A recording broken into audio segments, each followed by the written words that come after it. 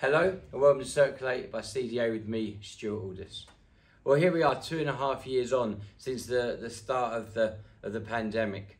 I don't want to really talk about the pandemic because we've been there and we've spoken about that, and so has everybody else.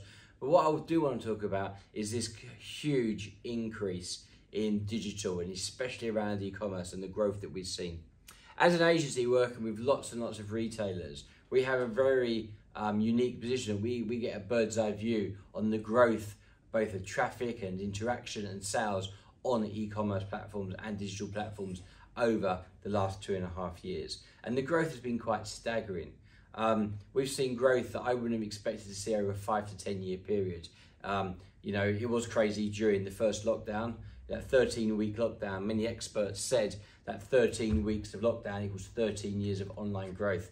And looking at the numbers, it, that wasn't wrong and that, that really happened. Um, and now that trend is continuing. It's not shrinking back down. We know the high street is still having issues. It's still adapting and changing to this hybrid of online and offline and you know online being more important. But online is definitely definitely growing. We've got people that used online for the first time during the pandemic. People that said i never buy my groceries online. They haven't switched back going to the store. So what are you doing in your business right now, in your e commerce business, to, to aid that growth and make it easy?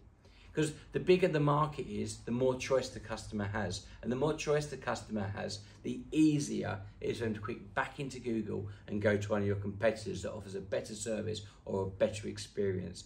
Is your website optimized for sales conversion? Is your website optimized for repeat business through subscriptions and other products? Is your website optimized to make it as easy to check out to increase your sales conversion? Is your website optimized for quick and easy data collection using things like Apple Pay and Google Pay? This is where you could be riding that wave of the digital growth that's been happening um, and will continue to happen over the next few years.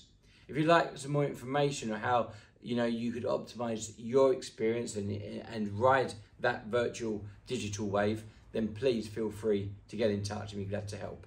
Thank you for watching. Until next time, please take care you